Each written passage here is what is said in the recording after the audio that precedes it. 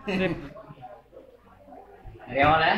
Hmm. Assalamualaikum warahmatullahi wabarakatuh. Selamat siang dan salam sejahtera.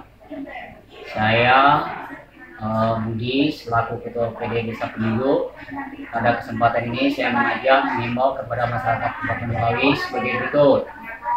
Satu, untuk menolak tempat ibadah dijadikan sebagai tempat kampanye oleh pasangan calon maupun partai politik pada saat pelaksanaan pemilu kada Gubernur dan Wakil Gubernur Kalimantan Barat tahun 2018.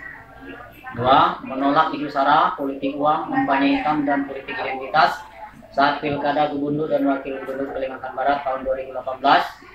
Tiga, membantu aparat keamanan untuk bersama-sama menjaga situasi kamtimas yang kondusif.